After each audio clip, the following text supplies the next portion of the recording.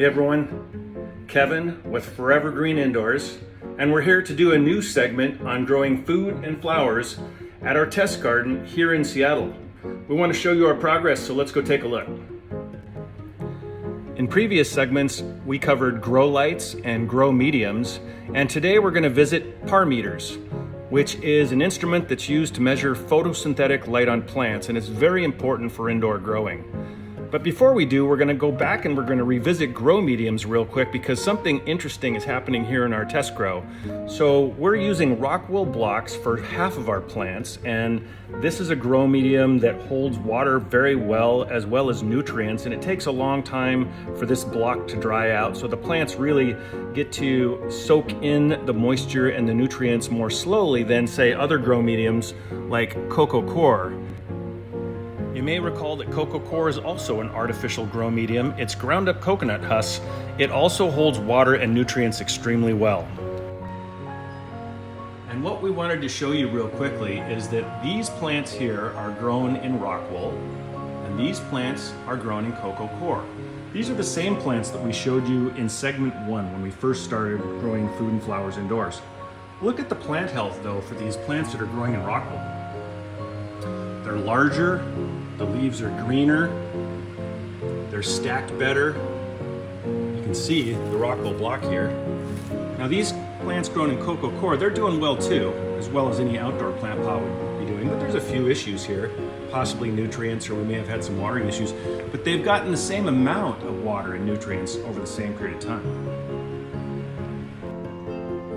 Which is a big reason that we do these test grows here trying different food, flowers, and other plants to see what makes them tick. And I know one thing that I've learned today is that I'm going to be using rock wool blocks to get all my summer plants started in my own planters and my vegetable gardens this summer.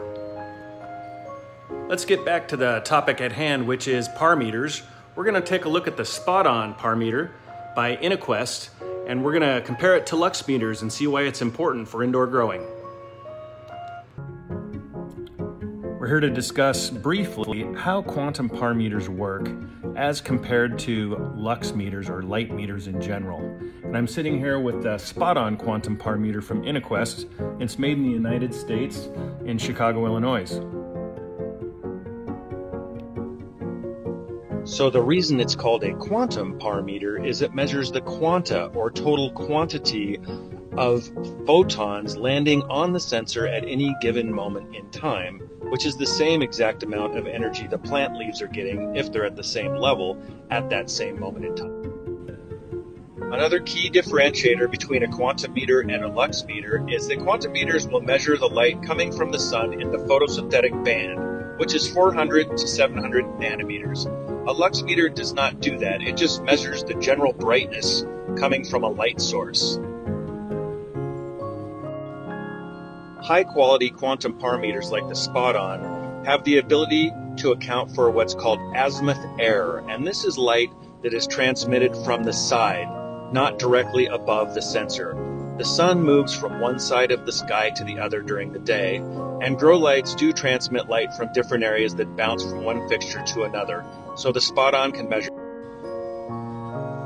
So then exactly how do lux meters work? Lux meters measure what's called foot candles of light, which is just a measurement of total light brightness. It has nothing to do with the quantity of light that the plants are receiving, and it has zero to do with the wavelengths or colors of light that the plant is receiving, and it's not accounting for light coming from different angles in any way. And finally, a disadvantage of lux meters is that they're not sensitive to light outside the photosynthetic or visible range.